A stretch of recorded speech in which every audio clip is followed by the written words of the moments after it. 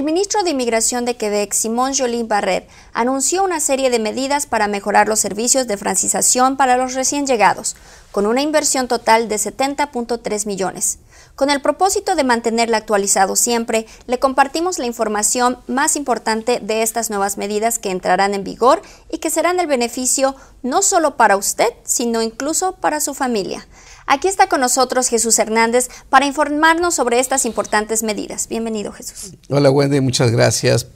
Pues le estamos informando que eh, hay un importante apoyo financiero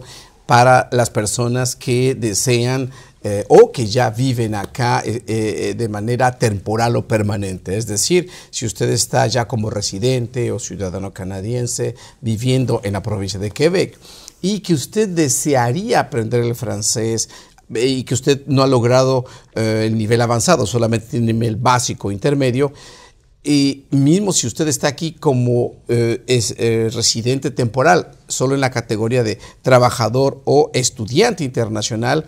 va a haber un apoyo financiero por dedicarse a estudiar el francés. Y en este aspecto, pues los servicios que le llamamos la francización han sido aumentados sustancialmente. Anteriormente estos servicios solo se disponían a ofrecer a las personas que tenían una estancia de cinco años o menos, es decir, que no podían ser subvencionados el estudio y el aprendizaje del francés. Para tratar de retener también ahora a los estudiantes y a los que van a pretender a lo mejor ser residentes permanentes, también se va a alargar a las visas temporales y que sus cónyuges, los que acompañan o los hijos que acompañan, también tendrán este apoyo financiero que el gobierno está avisando que va a ser una inversión de 24 millones de dólares para que puedan ayudar en esos programas de integración al francés. Bien, ahora, esto, esto pasa que el gobierno va a tener que aumentar sus eh, maestros, piensa contratar 80 nuevos maestros, eh, se agregarán más de 300 clases de francización y esto va a ser todo coordinado con las comisiones escolares que ya tienen personal capacitado y que también buscarán eh, nuevos, habrá la oportunidad para nuevos profesores de francés que ya prevén que va a haber otra necesidad muy grande de, esos tipos de, ese tipo de, profesionales en el área.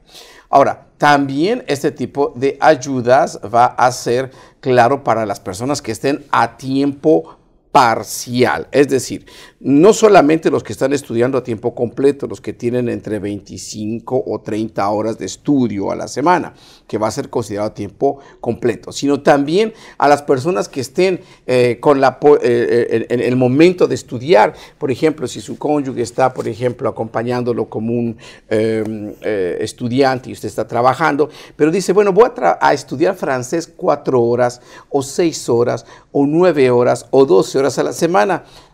le van a dar una ayuda financiera también. Esa ayuda financiera va a ser de 15 eh, dólares por el día de, del día de formación que usted tenga. Es decir, que eh, dependerá eh, a partir del primer día de ayuda de, formación que usted esté haciendo. Entonces hay un cálculo que se va a realizar y si usted tiene a sus hijos de manera parcial, que no está haciendo a tiempo completo, pues tendrá un apoyo hasta 9, dólares por formación a tiempo parcial, eh, por apoyo financiero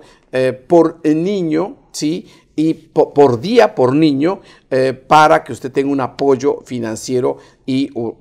si tiene dos niños, tres niños, va a poder tener ese apoyo eh, que le va a ayudar a usted. Entonces, a ver, para que no eh, lo podamos usted hacer claro, imaginemos un caso, si usted viene a, está estudiando tiempo completo,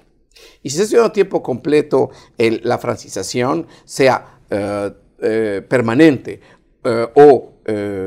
temporal, estudiante trabajador, que usted no tiene el nivel eh, avanzado, sino solamente el básico o el intermedio, usted recibirá, la persona que va a estar estudiando tiempo completo, 740 dólares, más la ayuda de transporte y de eh, guardería que puede subir hasta 50 ah, ah, dólares si tiene dos niños. Entonces, en este caso, puede tener un apoyo mayor de 500 dólares posiblemente usted reciba un eh, global de 1.240 dólares si usted está estudiando a tiempo completo y tiene que a cargo sus, sus hijos con usted. Entonces, esta es una gran, gran noticia para todas las personas que son residentes permanentes o de los que están de manera temporal. Ahora, hay, hay un extra también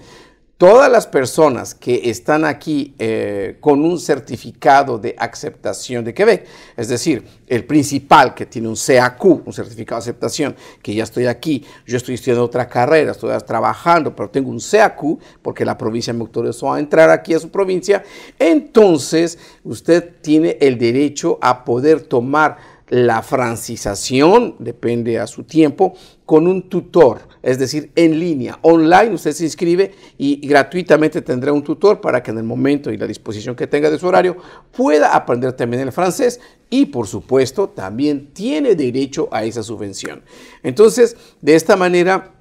el gobierno del Quebec está haciendo los cambios radicales para poder eh, facilitar, ayudar a la francización. De hecho, si usted quiere, entre a la página de inmigración eh, de, Quebec, donde aparecen los links, porque hay eh, panfletos en la cual vienen eh, en, inglés, en francés, en farsi, en urdu, en español, donde dice claramente en dónde usted se inscribe, dónde tiene que ponerse, digamos, en, la lista, en la, en la atención de estos servicios, que es principalmente para qué? Para que pueda dos cosas. Uno, comprender eh, la comunicación cuando usted llega recién inmigrante o de manera temporal, eh, a poder eh, comunicarse con sus profesores, con los niños. Dos, para el trabajo y tres, para los amigos, es decir, para que usted pueda hacerlo y esto le facilitará la integración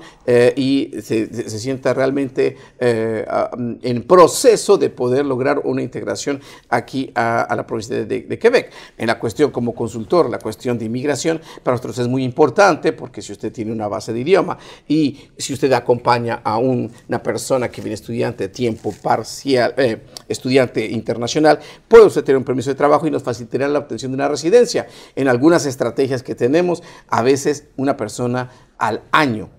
de cualquier tipo de trabajo que tenga un nivel B2 puede ya tramitar la residencia, mismo si no es el principal. Esto es único en la provincia de Quebec. Así es que si usted desea mayor información sobre la ecuación de francización, puede usted consultar a,